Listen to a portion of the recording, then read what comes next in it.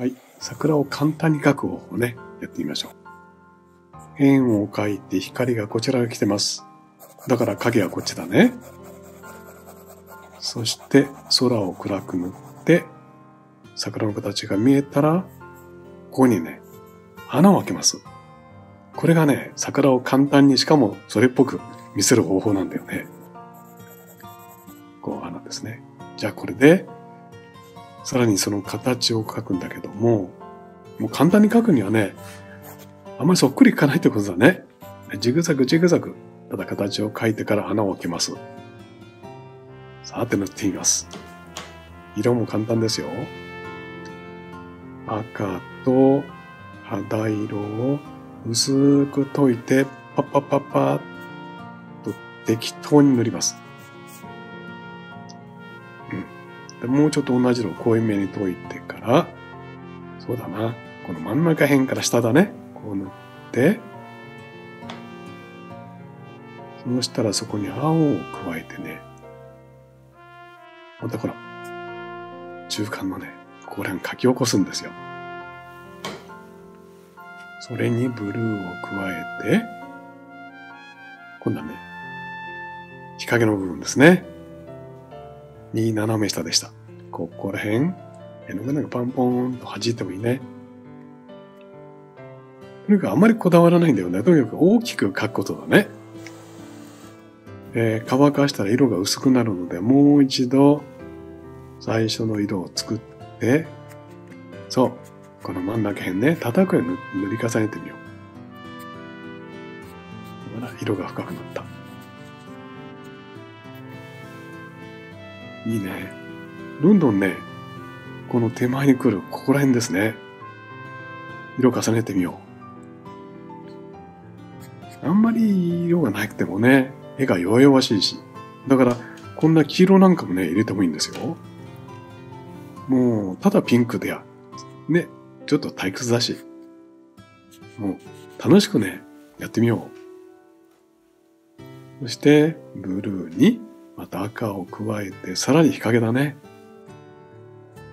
これがね、簡単に書く、簡単に書く割にね、すごい存在感をね、見る人にね、与える、あの、秘訣なんだね。とにかく影をね、しっかり描いちゃいます。うん。うん。影が大事だね。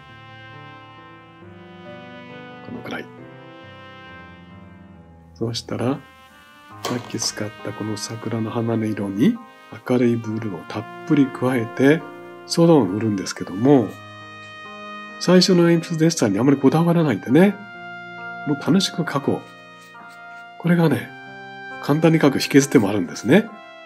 どうしても鉛筆デッサンにこだわって絵がちまちまなるんだけど、そんなこと全然いらない。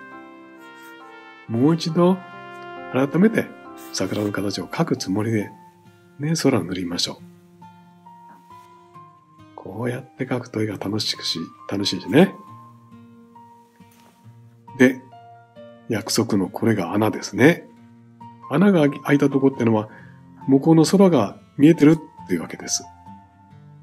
これがね、もう樹木をね、それっぽく見せる一つの秘訣なんだよね。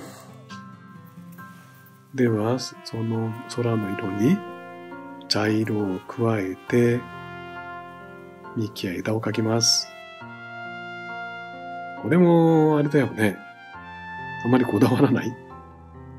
これが簡単に描く秘訣です。もうとにかく写真とか本物そっくりってね、そんな固くあまり考えないですよ。そして、ここですね。穴を開けたところに枝が見えます。さらにブルーを加えて、ちょっとね、枝や幹に日陰の色を出して、ほら、感じてたでしょ？じゃあ、絶対が地面描いておこうね。春っぽい、こんな色かな？そして桜の花の色を地面に少し散らして、影を描いたら、これで、この絵の出来上がりです。はい、書いてみました。もう明るい春の日差しの中で、もう本当にこうね、艶やかに咲き誇っている。そんな桜です。この桜を簡単にね、描く方法は、この青空をね、しっかり塗ることですね。そうすると明るい桜がパーッと見えてくるわけです。で、その青空が、この枝の間からね、どこどこ向こうに透けて見える。そうすると一層ね、このオートロットの対比で明るく豪華にね、簡単に描けるんですよ。さあ、どうでしたか？これからね、私と一緒に水彩を楽しんでいきましょう。それではまた。